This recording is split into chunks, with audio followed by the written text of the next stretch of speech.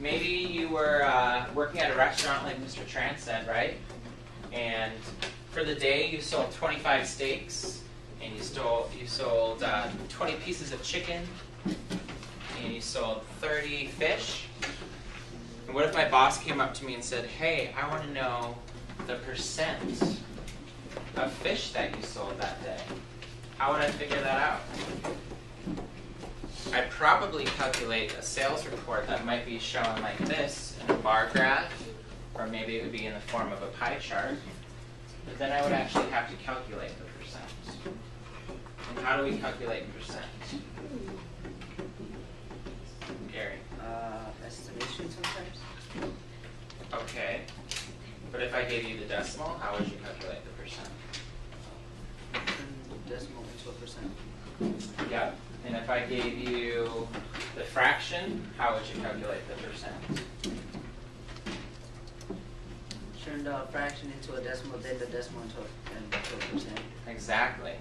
So to figure out a percent, we have to figure out the decimal. And to figure out the decimal, we have to figure out the fraction. If that makes sense to you, thumbs up. If you're not quite sure what we just discovered, thumbs to the side. Alex, do you understand? Yeah?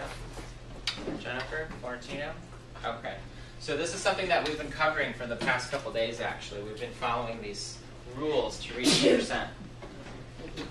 So now we're going to continue to do it a little bit more.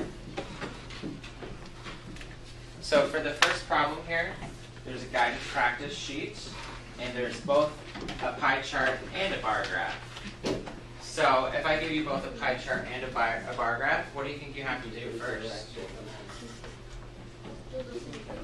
You have to read the, pie, the bar graph for the pie chart, right?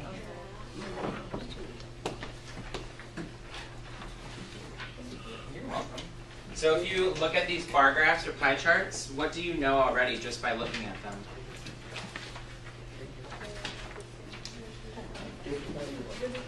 They look the same. What else do you know about them? We did this before. You did it before. Yeah, you did. But what else do you know?